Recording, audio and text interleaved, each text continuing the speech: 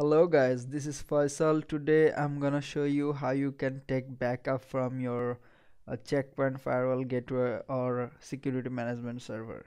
Let's jump in. You just need to log into your Gaia portal of that management server or security gateway. Scroll down to maintenance.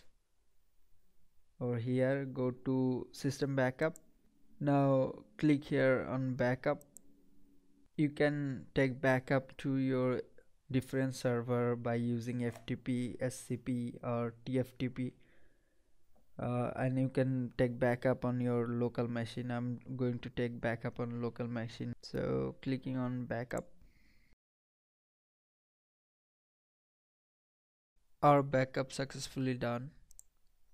You can schedule backup if you are uh, connected with FTP server then you can schedule your backup and it will automatically backup over there. We can restore from backup we can import backup we can export. Now i'm going to export this backup configuration.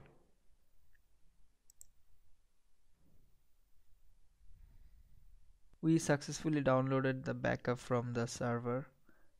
Actually i took backup from security gateway here is the backup file. Now i'm going to show you how you can download this backup from by using tftp click on backup select tftp insert the ip address.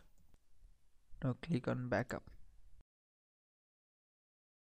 Fully backup via tftp now i'm going to delete this backup and going to import my backup from the backup file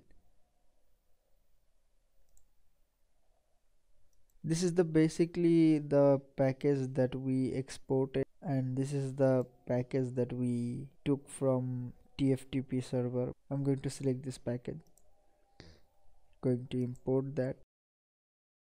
The package successfully imported. Now i'm going to restore this system by using this package